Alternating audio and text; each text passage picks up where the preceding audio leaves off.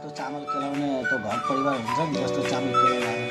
त्यस्तै केलाउनु घरमा चामल खिलाए जस्तै खिलाउनु पर्यो।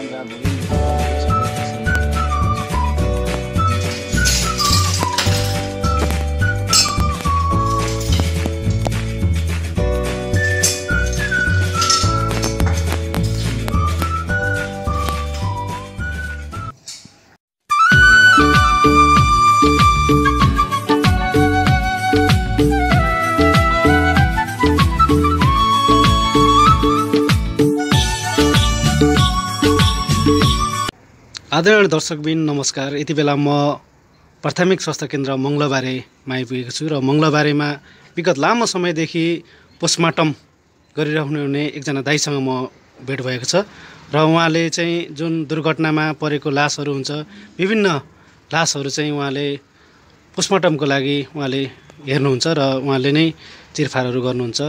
दाईको नाम के होला? विनोद मल्लिक। तपाईँले यहाँ जुन लासहरू आउँछ नि तपाईँले नै गर्ने हो। हजुर। के गर्नुहुन्छ त्यो लासलाई? अब त्यो अब एक्सिडेन्ट भयो कहाँ चोटपटक लाग्यो कहाँ के लाग्यो त्यो हामीले सबै खोलेर देखाउने हो डक्टरले रिपोर्ट बनाउने हो। जस्तो झुन्डेको भयो झुन्डेकोले घाँटी देखेर तल पेटसम्म खोल्ने हो।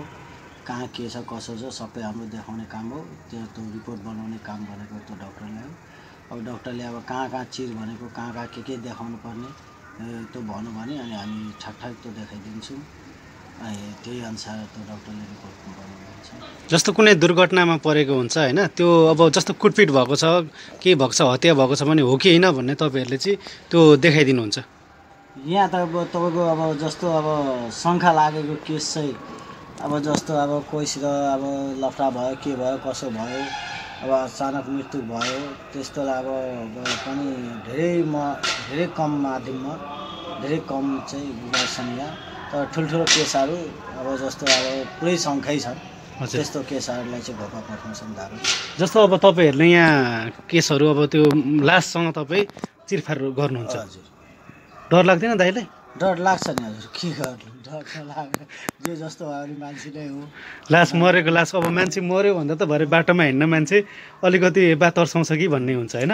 अब तपाईँ त लासलाई यता उल्टाइ पल्टाइ उल्टाइ पल्टाइ गर्ने गर्नुहुन्छ होइन? चिरफार गर्नुहुन्छ। त्यो भनौँ न त्यो लास र हाम्रो त्यो चामल केलाउने त्यो घर परिवार हुन्छ नि जस्तो चामल केलाइरहेको हुन्छ। त्यस्तै केलाउनु पर्छ।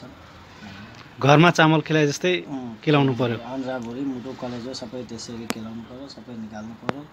अनि सबै देखाएर सबै फेरि त्यहीभित्र हालेर अनि प्याक गरेर सिलाइ गरेर अनि जसको लास छ त्यसलाई जिम्मा दिनु।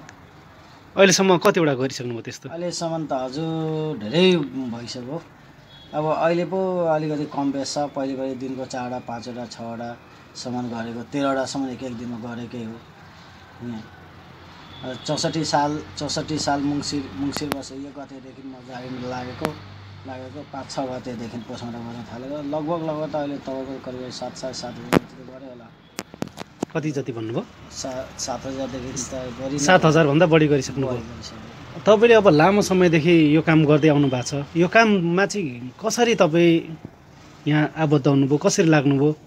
ए यहाँनिर हाम्रै अब एकजना मान्छे हुनुहुन्थ्यो अनि यहाँ अब सिट खाली भयो। यहाँ एकजना सक्ने भएन दुईजना चाहियो भनेर अनि हाम्रो मान्छे चाहिँ मलाई यो काम कहाँबाट सिक्नुभयो तपाईँले? यो काम पनि म यहीँबाट सिकेको हजुर झुटो कुरो बोल्नु हुँदैन। जुन जुन चाहिँ पहिले तपाईँको एउटा पहिले दाई थियो त्यो बस मैले बस यहाँबाट यहाँ जागिरमा लाग्ने बित्तिकै त्यो दाईले मलाई सँगसँगै ल्याउनु हुन्थ्यो। दुई तिन दिन जस्तो मैले दे हेऱ्यौँ अनि त्यहाँदेखि चाहिँ आफै गर्न थालेँ। पहिले पहिले त सुरु सुरुमा त अब धेरै डराउँथ्यौँ। अब लगभग लगभग तपाईँको एक वर्षै डेढ वर्षै जति तपाईँको राति निन्द्रा नआउने डरले त्यो त्यो भर्सक बानी नभएर होला पनि। कहिले काहीँ गर्दा गर्दै अब त्यो तपाईँहरूले चिरफार गर्दा गर्दै कहिले काहीँ लासहरू युतिने त्यस्तो अलिकति हातहरू हल्लिने त्यस्तो भएको छ कि छैन? कहिले काहीँ यसो अब तपाईँले गर्दै गर्दा आफूलाई फिल होइन त्यसरी यसो हात यता पल्टिँदा भए ओइ त्यस्तो त हुँदैन। तर कहिलेकाहीँ अब यसो हुन्छ नि त। अब मान्छेको अब जस्तो अब एक्सिडेन्ट केस आयो जस्तो के आयो जो कसैको टाउकै नै हुँदैन कसैको हातै खुट्टै हुँदैन। अब तिनीहरू प्लास्टिकमा प्याक गरेर ल्याउँछ। अनि कहिलेकाहीँ यसो अचानक खोलियो भने चाहिँ झसँग चाहिँ चाहिँ हुन चाहिँ हुन्छ। हुन्छ त्यस्तो चाहिँ त्यस्तो चाहिँ हुन्छ। अनि भरे अब तपाईँ घरमा जाँदाखेरि अब त्यस्तो गरिराख्नु भएको छ अब होइन? घरमा जाँदाखेरि अलिकति अब यसो खाना खानेहरू बेलामा त्यो झझल्कोहरू आउँछ कि आउँदैन त्यति खासै त आउँदैन। हजुर पहिले पहिले चाहिँ आउँथ्यो। हजुर। तर अहिले चाहिँ खासै त्यति आउँदैन। तर पनि कहिलेकाहीँ त आउँछ त। किनकि अब कहिलेकाहीँ अब कहाँदेखि कहाँ दिमाग पुरेको हुन्छ। दिमागमा त्यही त्यही कुरो बस्यो भने त आउँछ कहिलेकाहीँ तर त्यस्तो सबै बेला यताउति चाहिँ हुँदैन तपाईँले अब लामो समयदेखि यो काम गरिराख्नु भएको छ। यहाँ कतिजना हुनुहुन्छ तपाईँहरू यस्तो काम गर्ने? अहिले म एक्लै छु हजुर। एक्लै हुनुहुन्छ। अनि अब कहिलेकाहीँ त अब दिनमा थुप्रैवटा केसहरू आउँछ होला। जस्तै एउटा बिरामीको चाहिँ एउटा जुन हुन्छ नि मृतक एउटा। मृत शरीर। को चाहिँ अब रिपोर्ट अब तपाईँले काम गर्नको लागि कति समय लाग्छ? त्यस्तो चिरफाँड गर्न लागि हजुर हजुर। चिरफाँड गर्न लागि अब त तपाईँको आधी घन्टा देखेर पौने घन्टा एक घन्टासम्म पनि लाग्न सक्छ। एक्सिडेन्ट केसहरू छ भने त।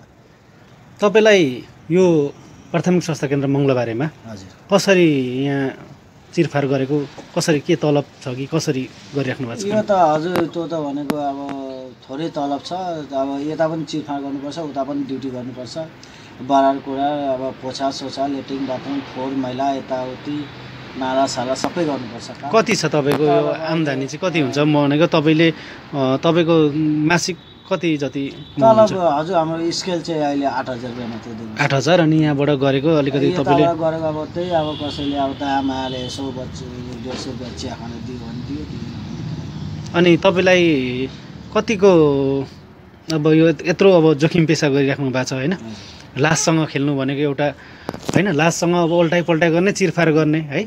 त्यस्तो काम गर्नु भएको छ कस्तो जीविकोपार्जन कस्तो सजिलै छ कि कस्तो छ तपाईँको? अहिले त अब के भन्नु र दाइ अब आठ हजार तलबमा अब केटाकेटी छन् दुइटा घर भाडा तिर्नुपर्छ। अनि अब गाह्रो त गाह्रै छन्। घरतिर अब कसैले अब तपाईँको साथीभाइहरूले यस्तो काम किन गरेको भनेर कहिले भन्दैनन् नि? के भन्छन्? के छ?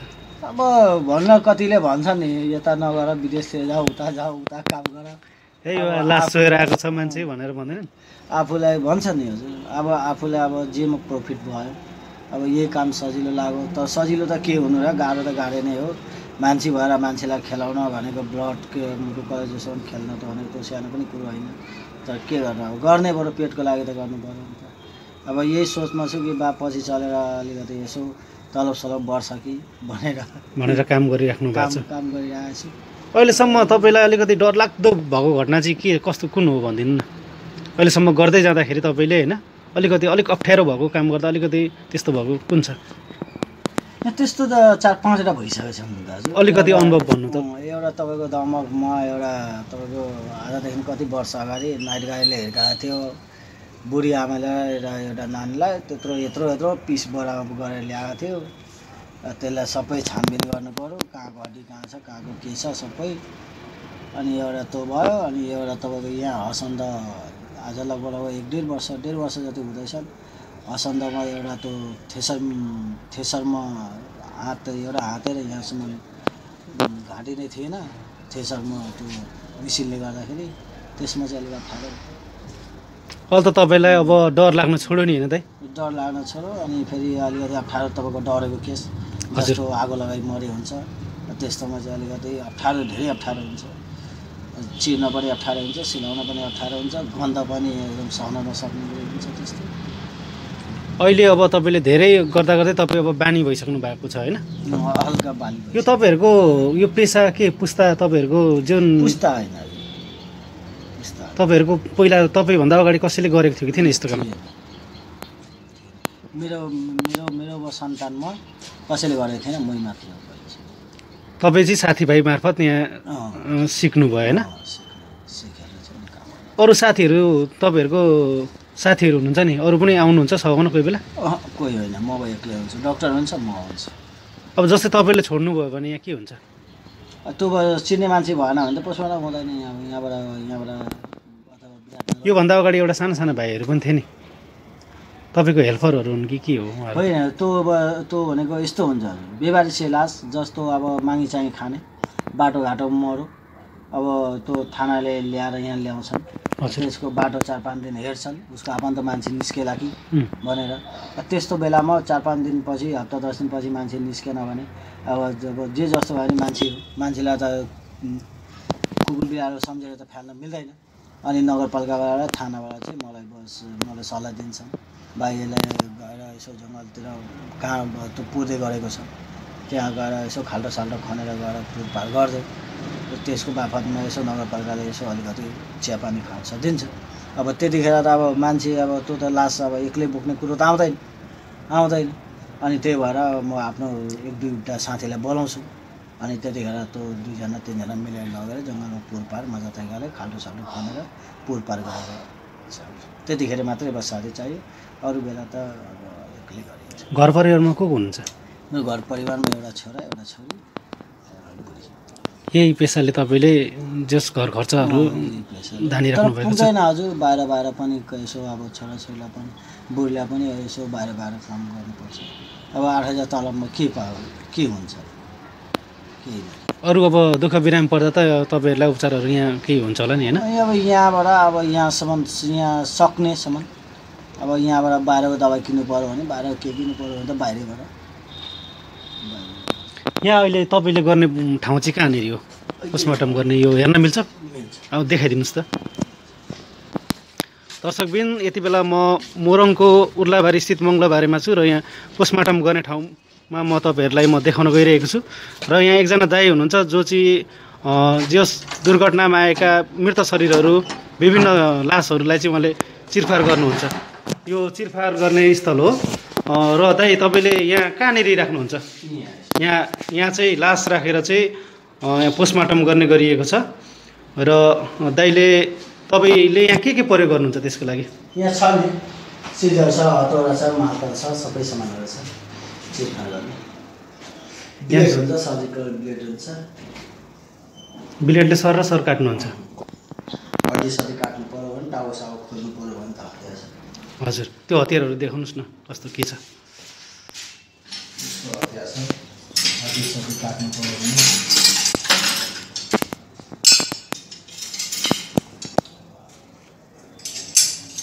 यस्तो हतियार छ सिजर भयो छाला छाला काट्नु देखाउनु त। यता हेर्नुहोस् दाइ अब तपाईँले यहाँ जुन अब केसहरू गरिराख्नु भएको छ होइन अब यही पेसाबाट जीविकोपार्जन गर्नु गरिराख्नु भएको छ हाम्रो उद्देश्य के हो भने तपाईँको पनि एउटा केही कुराहरू आओस् भनेर होइन।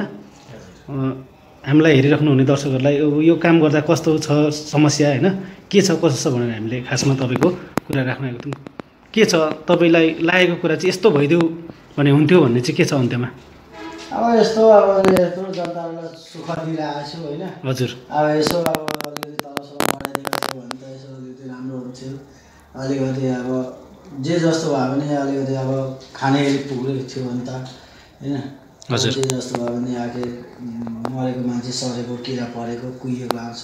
तिनीहरूलाई सबैलाई गर्नुपर्छ। सबैलाई पुरपार पनि गर्नुपर्छ त्यस्तो व्यवहारशील लासहरूलाई कहिलेकाहीँ पहिचान नखोलेको अब त्यसको काम गरेको पाइँदैन होइन? पाइँदैन। त्यस्तो नपाएको पनि छ?